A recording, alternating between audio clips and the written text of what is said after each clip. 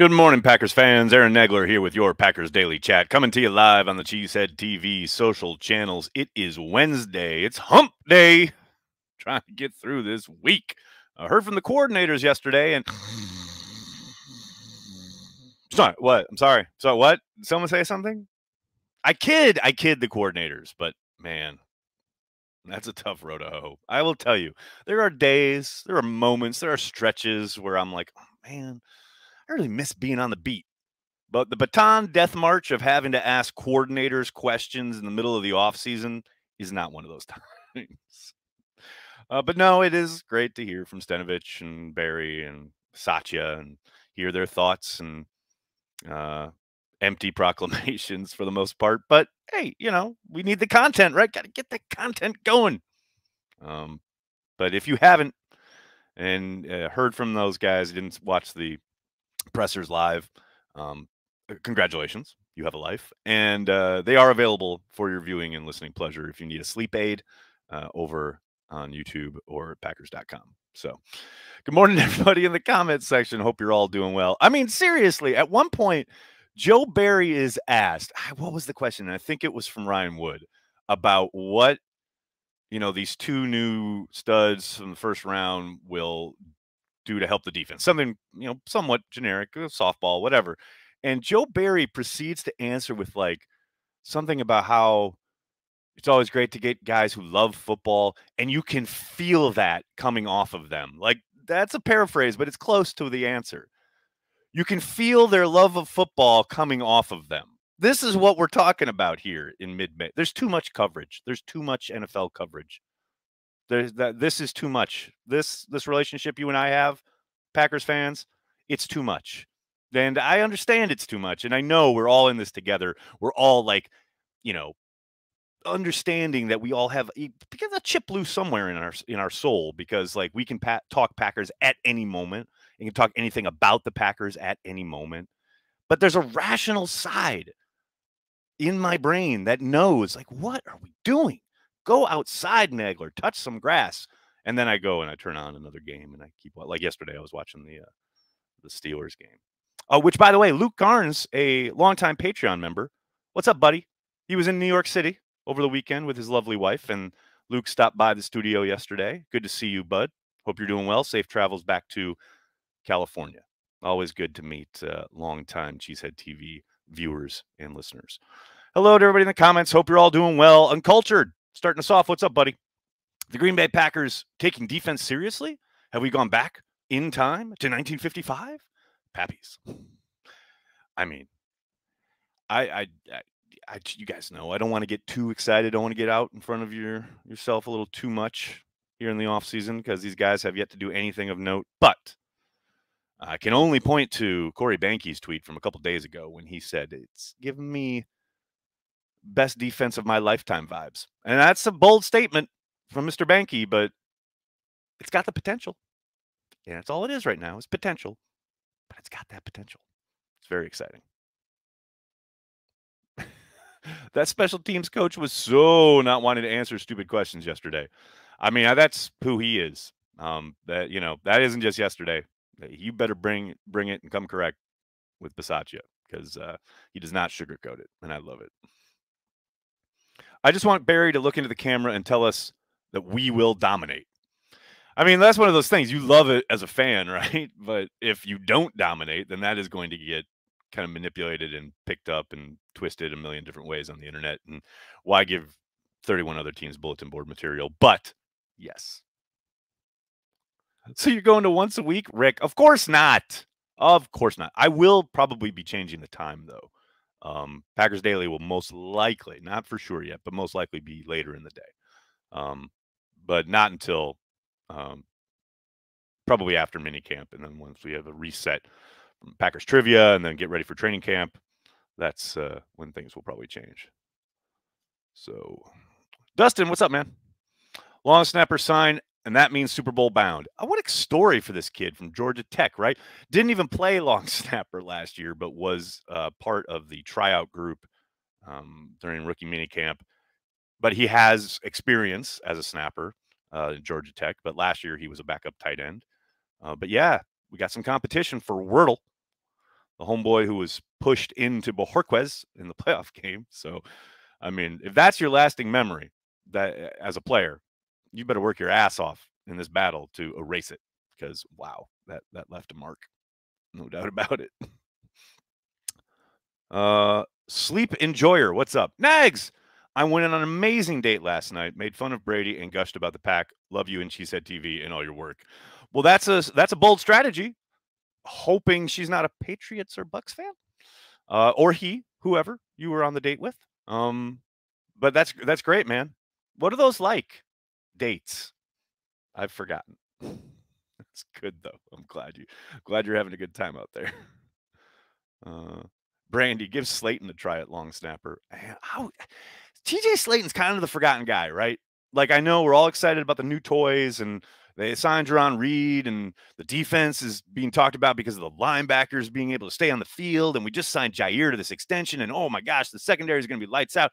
TJ Slayton's like the sleeping giant, and I mean giant, who is just going to come in and just you know, probably keep developing and probably, you know, take a significant step forward. And uh, it feels like come October, we're going to be like, this kid, you talk about domination. This kid is dominating.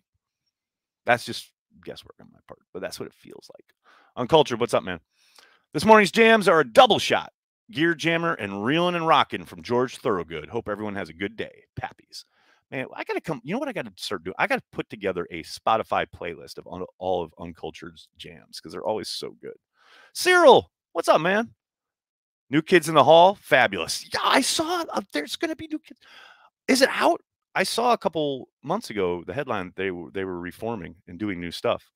Um, dude, and where are you? On, why aren't you on Happy Hour anymore? You're never on anymore. Come on, man. Join us. Happy Hour is tomorrow night this week, by the way, Patreon members. You'll see on the Patreon page. Zoom info is up. It's Thursday night this week. I got an engagement. I got something I got to do tonight. So uh, tomorrow night, Thursday, 6 p.m. Eastern. 6 p.m. Eastern, people, be there or be square. Big Daddy Cool Breeze. What's going on, man? Smash that like button for Nags. G Fence. Ooh, G Fence. Look at you. I like it. I got to pass that along to the guys at the the Packers fence. That's pretty G fence. I like it. Big Daddy Cool Breeze coming in hot. Um, I may not know a lot, but I know my jams. Yeah, you do, Uncultured. I ain't no joke. The coolest name on the internet. Hey, Big Daddy Cool Breeze is no joke. No question about it. The man's got style. Uh, Butch, will Packer rookies to make the 53 be over under six? Wow. Out of 11 draft picks? I'll take the over, but just let's say seven. Will Aaron Rodgers star in a movie like Brett Favre, or will he not reach that level of greatness? Something about Mary. Complicated fella. What the hell is Brett Favre doing here? Um, I mean, Aaron's done stuff. Maybe not, you know, feature film level, but you know, he's been in Game of Thrones. I mean, you couldn't find him, but he was in it. Um, and he's the host of Jeopardy. I mean, that's pretty significant. But yeah, something about Mary is legendary. Let's just keep Brett there, right? In our memories in the 90s, and just kind of ignore everything from like the moment he joined the Vikings on. After that, it's it's I don't know who you're talking about. Uh, with offensive coordinator Adam Stenavich, will the usual Matt LaFleur offense be in play, or will the Packers see more bubble screens, wheel routes, or various personnel packages, two tight ends, two running backs, etc.? Dennis, that is an excellent question. What kind of effect will Stenavich have as far as the the mix, the soup, if you will, that is the Packers offense? Um, I want to see more pony. I want to see more two back formations. I want to see more uh, AJ Dillon and Aaron Jones in the backfield together. We've seen a sprinkling of it through Matt's first three years. I want to see a lot of it. I want it to become a staple part of the offense. Um, now I know Steno he did touch on that a little bit yesterday, but um, I don't. I think the kind of outside the building, we look at it and we think, oh, Stenavich, that means they're going to emphasize the run more, and I don't think that's strictly true. But I do hope there is a bit more a liberal mix of more blocking schemes up front and they you know, stuff that they showed early in the year last year and then kind of got away from as the year went on but more angle blocking more power stuff I do think like the types of concepts and things of that nature could change up under Steno, but I think ultimately it comes down to Matt and Aaron, and I think that's always going to be a pass first offense with Rodgers in town. Even though I think they would benefit from running the ball more and doing a little bit more of the, you know, stuff out of the Shanahan tree. But um, we'll see how it progresses. I am excited to see what kind of wrinkles they incorporate with new brain trust, so to speak, in in those meetings. And don't forget, Tom Clements is probably going to be part of that as well. So there's a lot going on there. Uh, what else we got? What else we got? Will they beat the Cowboys? Julie, will they?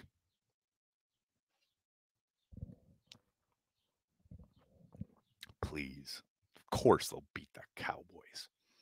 In Lambeau, Mike McCarthy's return. They are they cannot be allowed to win that game. Now watch them lose by 20. He was in the office. There you go. Aaron Rodgers was in the office. That's still not something about Mary level, though. Sorry, especially U.S. office. Now, if you'd been in the UK office, that'd have been impressive. Uh, Cowboys going down. You darn right. Uh, what else we got here, folks? What are the expectations for Aaron's presence at OTAs? Would like to see him starting to mesh with new targets, which he hasn't had to do like this really ever. Andy, yeah, I think that will be a constant narrative throughout the offseason. I think a lot of that is going to get over overblown. Um, yes. Does it make us as fans feel better if Aaron Rodgers is on the practice field during OTAs throwing to Christian Watson and company? Yes, of course, it would make us feel better, but it doesn't really translate to that that much kind of reality as far as their connection on the football field come September the majority of that work will be done in training camp. And what little kind of benefit they would get out of you know throwing routes on air in May is pretty minimal. Um, I have zero doubt that this will be blown up throughout the offseason and throughout even probably the first part of the season, but it really doesn't mean that much. And I know it's there's content to be made, so people are going to talk about it, and I understand it. But and you guys know I I am not shy about criticizing Aaron Rodgers, but if he didn't attend a single thing outside of the mandatory minicamp, which is a possibility, I, I just don't think it means a hill of beans. Um, you know, the adjustments, the things they need to do, the getting a quote, getting on the same page, all of that can be accomplished in training camp. You know, and I know we're going to see stuff like other quarterbacks gathering guys and throwing, and it just goes back to you know, what Aaron said after they beat the Saints week one in 2011 after the lockout. If only we'd had offseason workouts, we could have put up 50. You know, it's just the end of the day, it's football, and he's played a boatload of it. And those young guys will come along. And there are tons of other opportunities in the passing game outside of just the new wide receivers, the rookies. Uh, I can't wait to see McCarthy turn purple on the Lambeau sidelines again. there you go. Jay Pompo, you got it. Practice? We talking about practice, not a game. Practice, man. Practice. You got that right.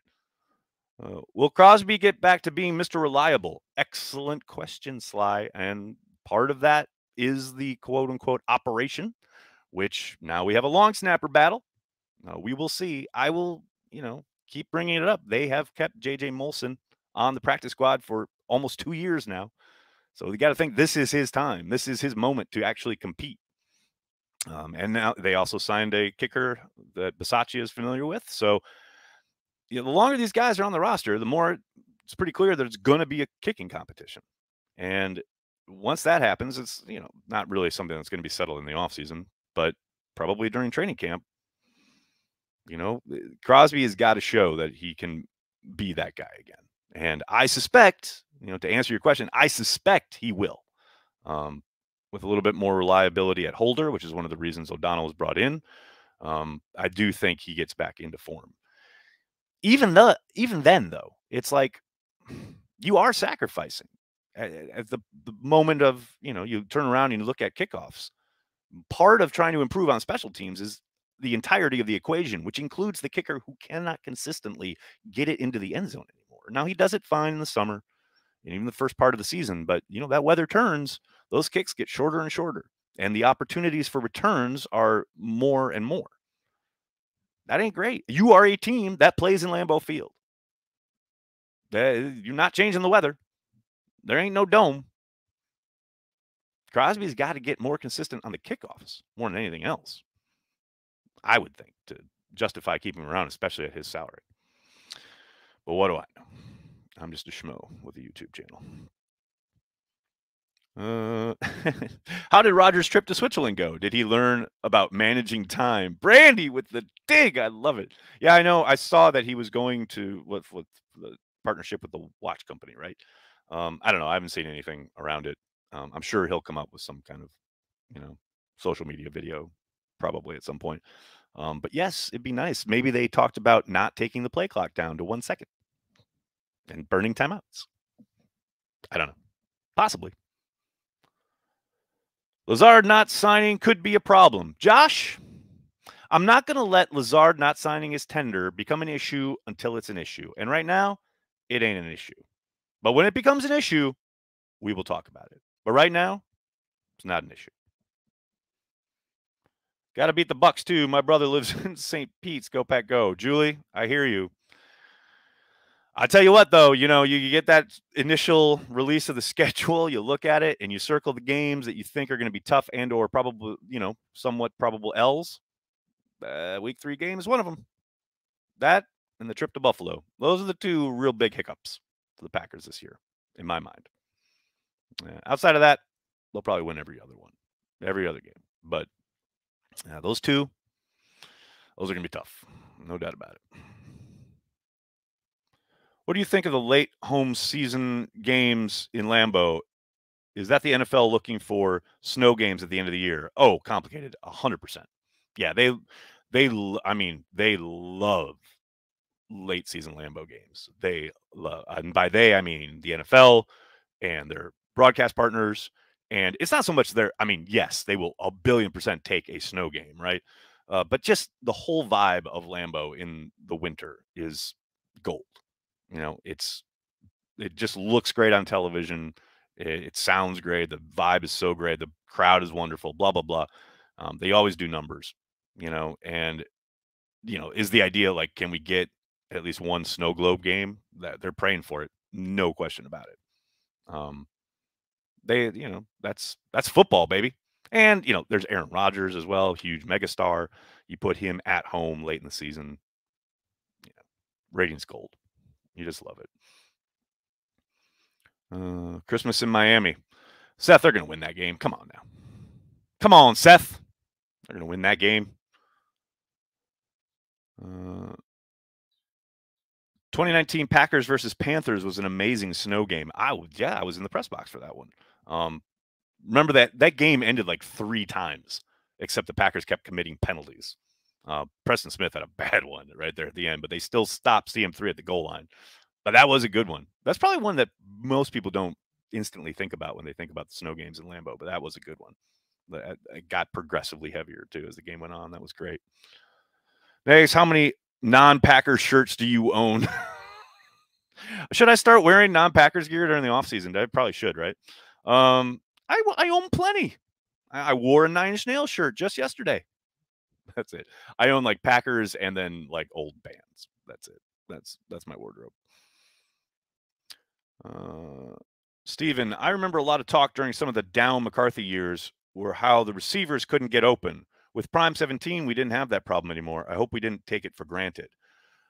I mean, look, it, I just, this is a narrative that will undoubtedly pop up every single time that Rodgers struggles to find people, right? Or they maybe stub their toe in the passing game, which can happen for any number of reasons. But um, I would just point to, and this is something I wanted to impart to, uh, is it David Carr on NFL Network? David's asking, where is the matchup for the Packers without 17?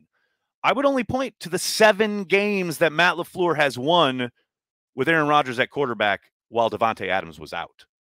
There are plenty of opportunities in this passing game and in this scheme to open up and get things going with your tight ends, your running backs out of the backfield, guys like Allen Lazard, who we've seen come to the fore that week three game against the Saints a couple years ago. There are going to be plenty of opportunities. And this idea that they're going to just fall off the map on offense is downright laughable. So, yes, please watch the tape of those games if you need to see, quote, where the matchup is for Green Bay. It's all over the place. It's like the Matrix. It just materializes. That's how good LaFleur is, and that's how good Aaron Rodgers is, and that's how good they are together. Take that to the bank. Uh Hey Nags, what is this Thursday night games being streamed by Amazon? Are they trying to stream all the games? Well, not yet. Um, you got to think there'll be some kind of would eventually think there'll be some kind of hybrid version of every single broadcast eventually i'm talking like 20 30 years down the road but right now amazon paid a bunch of money uh, for the rights to stream those thursday night games so they're going to get some good matchups and if you read peter king's column on monday morning uh, initially that packers home game on amazon was supposed to be against the jets and amazon was like can we get a bit more of a premium matchup here?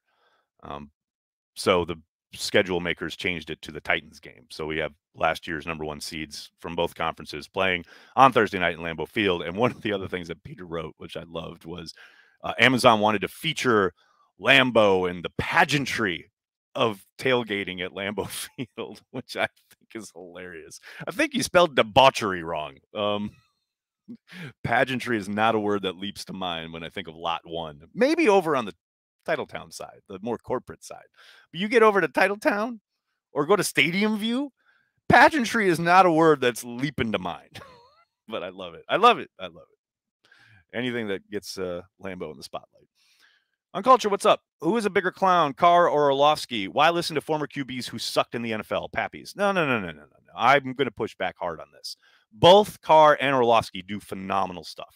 Um, I think Orlovsky's a bit better in every aspect on television. But um, just because they quote unquote didn't weren't great in the NFL, right? They're not all star quarterbacks. That doesn't mean they don't have tons of knowledge about the game of football, which they do. Um, now you may like them as a personality. You may push up or bristle at some of the stuff they say, especially about the Packers, but don't dismiss them like that. Man, you know how hard it is to get to the NFL, let alone be a starter in it, play, you know, for years in the league.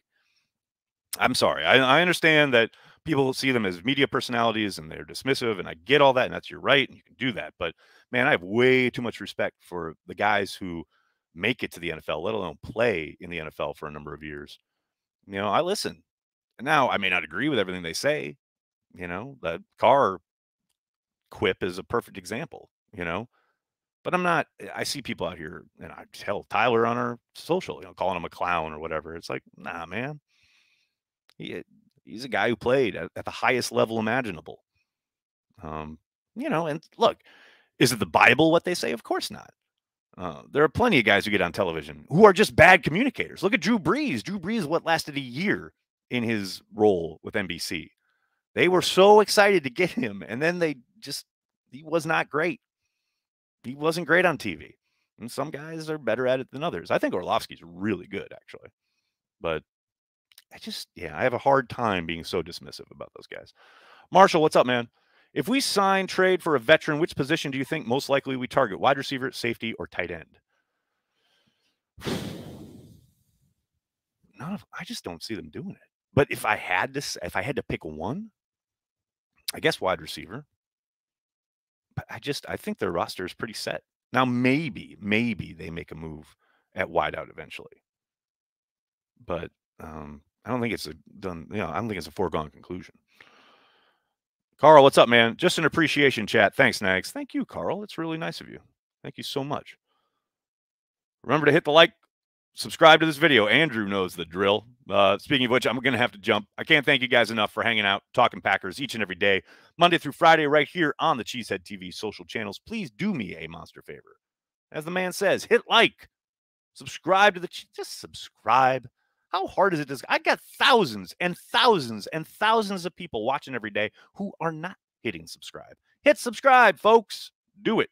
And then tell your friends, and tell your family. Cheesehead TV. We're devoted to Green Bay Packers fans worldwide. Thanks a lot, everybody. Have a great day.